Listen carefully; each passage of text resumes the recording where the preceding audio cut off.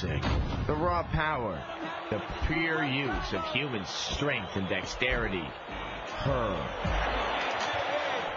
And the sudden loss of self-awareness when you drop to the mat. Like a dying ducky. Throughout gaming history, the sweet science just hasn't been.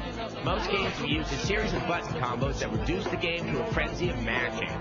Not so with Fight Night 2004. Why is there a blimp in the stadium? The controls of this game are the biggest innovation since the fatigue meter. All the standard punches are initiated by the right analog stick.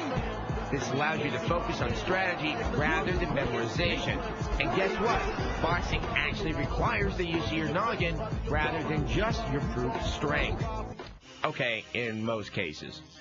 Now, while the new control style is a move in the right direction, it's not perfect. The game puts a lot of demand on your thumb. Not all of us are the Fonz. Hell, I'm not even Pinky Tuscadero.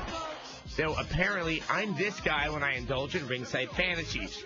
Wait, hold on, this is a fantasy. What? When's their cornrows part of my fantasy? And I can't even win. I'm, I'm, I'm just not going to fantasize anymore. Obviously, the game comes with a creative player mode, and there are different modes. The primary one is career mode, and this is the one other area where the game falls a bit short. Just like me.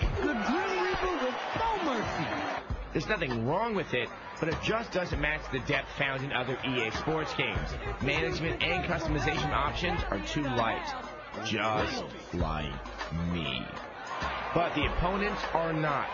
Each boxer boxes differently, and you have to learn their style and plan. Just throwing punches willy-nilly will get you nowhere but down. But even getting your ass handed to you looks good in this game. The animations are smooth, and knockouts just...